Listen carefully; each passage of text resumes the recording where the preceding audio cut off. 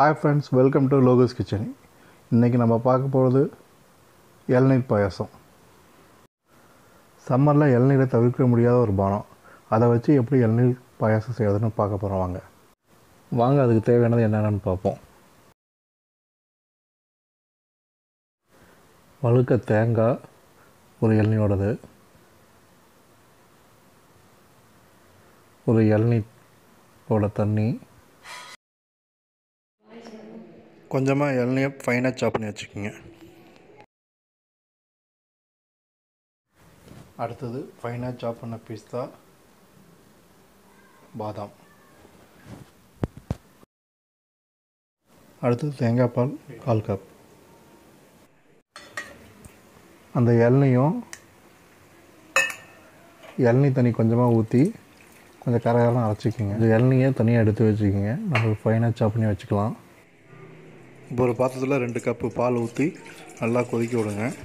மூணில் ஒரு பொங்குற வரைக்கும் நல்லா சுண்டுட்டும் பால்.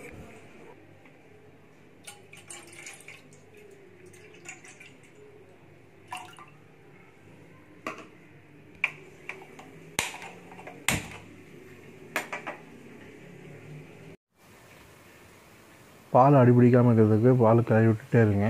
பால் நல்லா சுண்டுட்டோம். நல்லா பால் திக்கார வரைக்கும் பாலை கொதிக்க விடுங்க.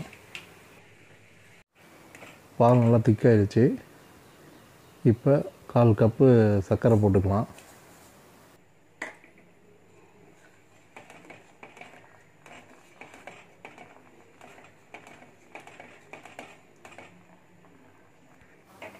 சர்க்கரை நல்லா கரைச்சினா அரைச்சி வச்ச ஜாதிக்காய் பொடி கொஞ்சமாக போட்டுக்கோங்க.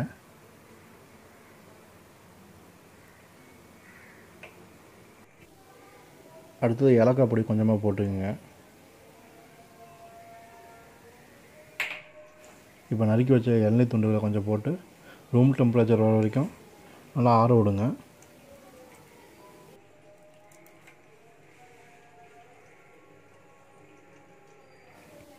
இப்போ பால் ரூம் டெம்பரேச்சருக்கு வந்துருச்சு.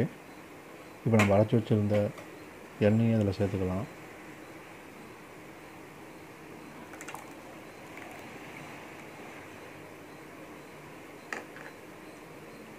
தேங்காய் பால் கால் கப் இதில் சேர்த்து நல்லா மிக்ஸ் பண்ணிக்கோங்க.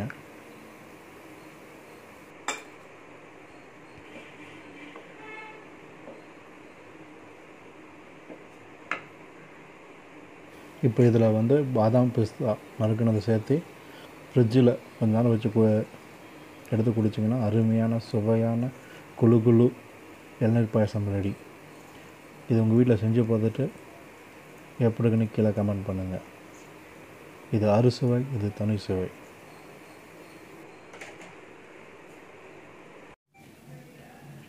தேங்க்யூ ஃபார் வாட்சிங் லோகஸ் கிச்சன்